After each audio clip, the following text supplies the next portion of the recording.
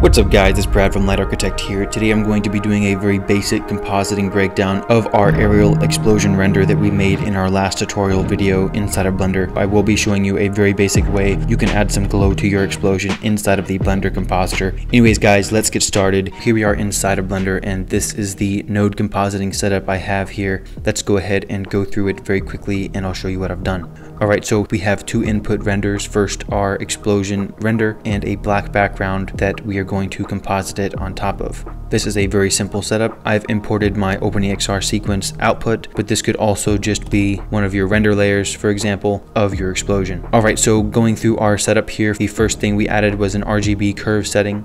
Essentially what we did here is we've brought down the image a little bit so that our glow will be a little bit more prominent in our scene. As you can see, if we go bring it back to normal, we get something like this, which is a little bit too bright in my opinion, so I brought down the shadows as well as the highlights a little bit to give it a little bit more glowing result. The next thing I added was our three glare nodes. We've used the fog glow setting on them with a high quality option here. To add this glare effect, just press Shift A, and then you can go to filter and then glare, and then you can change this to fog glow and then change it to high.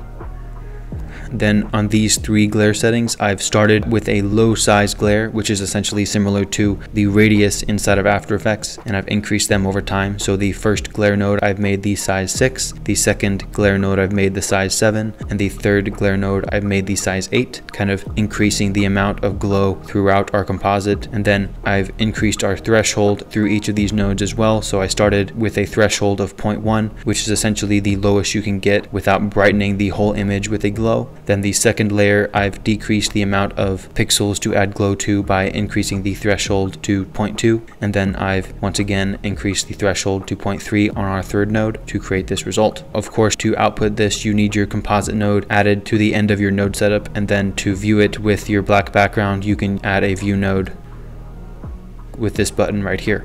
Anyways guys, since I've imported an image sequence into the compositor, I can also scroll through different parts of the explosion to see what it looks like at different times. So this is one advantage of importing a sequence into your explosion versus trying to composite everything into a final output as you're rendering. But of course, all of these settings can be adjusted depending on the background you were adding things to. This is looking pretty cool. I didn't remap any color values like I did in After Effects because I feel the uh, hue and saturation option here, as you can see,